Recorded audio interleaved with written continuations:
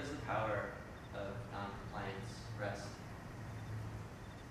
Um, so for me, which is all I can speak to, um, I grew up in abuse, with an abusive dad, and I was a little kid, but I always still pushed back against him constantly. And so I always know that in the worst of circumstances, when I felt the most powerless, that just finding that little place in my gut where I thought I'm, I'm worth more than this and I have a power is sort of the root of all of it. So if I could stand up to you know a grown man when I was a little kid, and I can stand up to anything. So and that means I've stood up to cops before to my own detriment. But yeah, that's really where the power of it rests for me, the seed of it, I guess. And I can always kind of go back and find that feeling and say, even if this is difficult for you, even if you might lose out or people might look at you weird for doing it, you have more power now than you did then. And you can keep finding your power um, and keep pushing. So that's really at the core of it.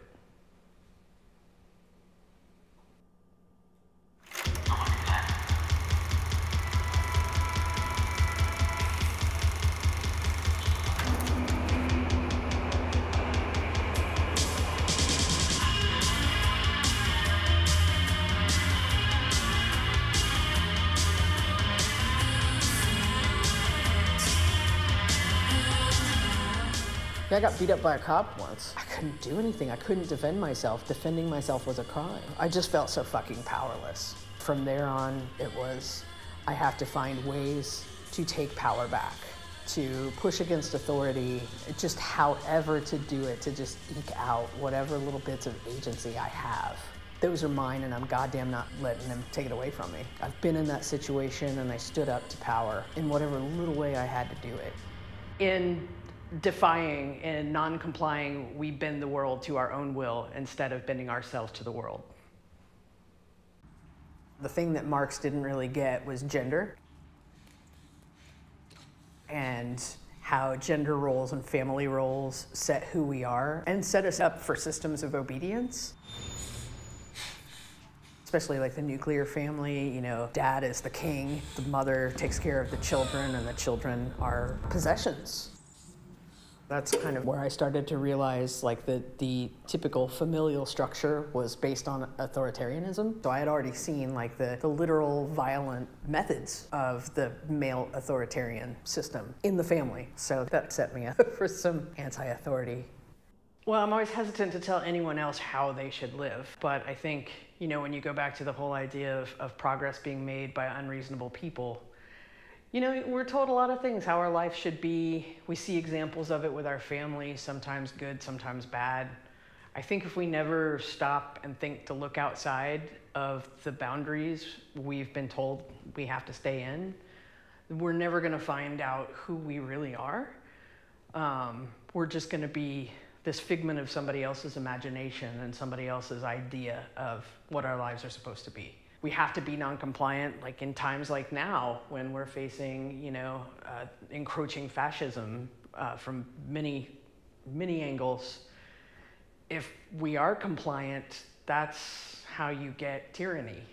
So on some level especially a political one there's times when you absolutely have to be. How have you gone about creating an identity based on your own terms? Away what we get that believe are standard values, ideas, and concepts of our.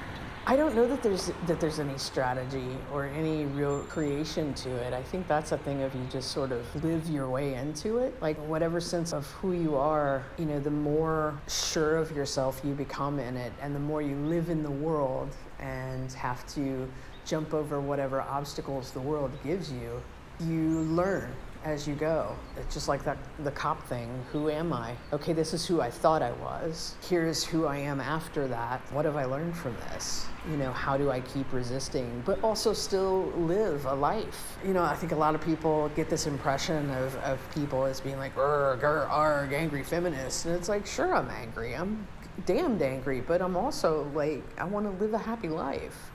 You know, I want to live a life filled with people and, and cats and great music and I want to have joy, but here's this other thing that's completely fucking up my joy and everybody else's. So you just kind of find your spaces where the need for resistance is and you respond to them as you live and hope that it has an impact and hope that you're doing the right thing and just try and be the best you can at it. As you grow older, as you experience more of these things, you you take them in stride and you learn how to deal with them. Lisa, why did you become a DJ? Oh, um, well, I like techno, and I, I like to be participating in all things that I like. Um, also, um, I kind of suck at being compliant at jobs. I've had like, what was it, 35 jobs? 30, 36? I don't know. I counted 10 years ago. It was like 35 jobs. I suck at authority. So I've worked jobs, I can work a job, but I just wanted to be creative my entire life. I wanted to travel and make music. So I used to want to be a, a, a you know, punk guitarist and then a synthesizer player. And then I heard techno, so it was DJing. And, you know, I'll probably still have to have a job, but uh, I'm gonna try really hard not to. Can you list the jobs Oh, God. telemarketing. I've set appointments for windows and siding. I've set appointments for vacuum cleaners, air filtration systems, all kinds of appointment setting for sales. I've done fundraising for, you know, all sorts of nonprofits. That was my last job, and then I ended up as an IT manager. I've worked fast food, schlepped coffee, got fired once for punching out a manager who was harassing me. Oh, I worked in a, a warehouse breaking down packing crates. Yeah, lots of just random jobs, just terrible minimum wage jobs. So, What do you think you'll do after DJing? um, I want to be a librarian. Why do I think we're programmed to comply with the dominant notions like patriarchy and identity? Because it's a control mechanism. It makes us great little worker bees, or it makes women great little subservient sex slaves and reproductive devices. It just sort of fits into the notions of white supremacist patriarchal control, essentially. I mean, look, you've got religious structures that scare people into thinking that if you're a woman and you don't get married and maybe like women sexually or whatever, that you are literally going to burn in eternal hellfire. And I've known people who were truly convinced that that was true. It dictated so much of their life that they lived completely not according to who they were. Yeah, it's a control mechanism. Like you keep people in line. People who don't care about that stuff are dangerous.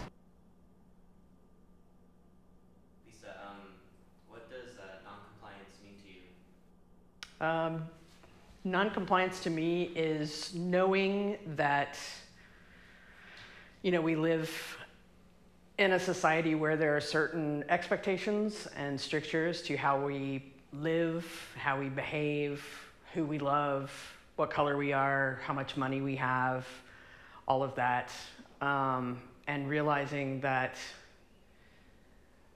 you know I didn't make those rules, so you know, th- those rules don't have to define any of us.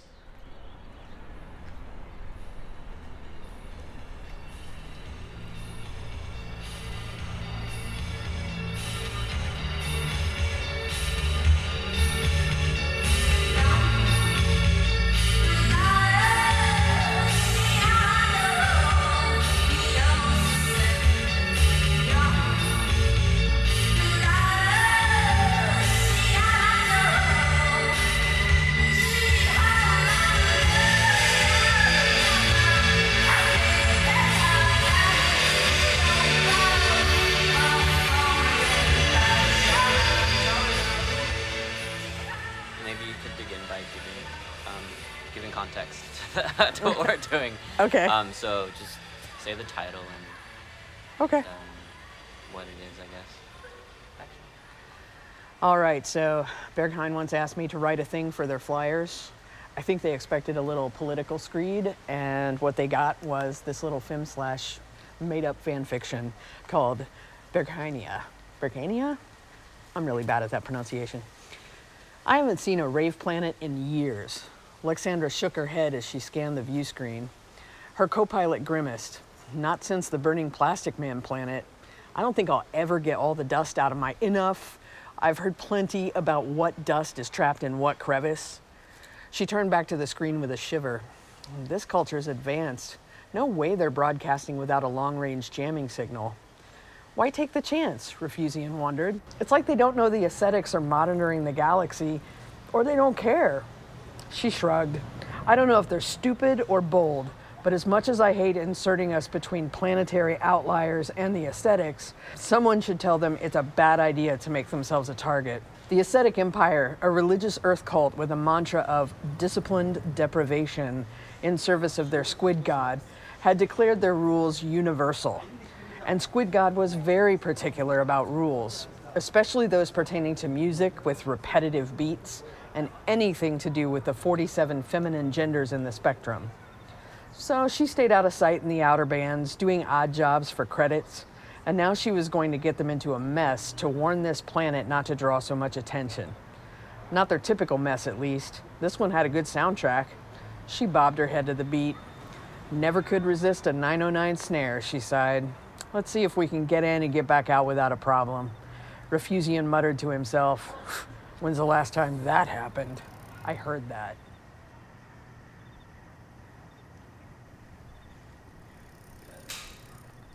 So, yeah.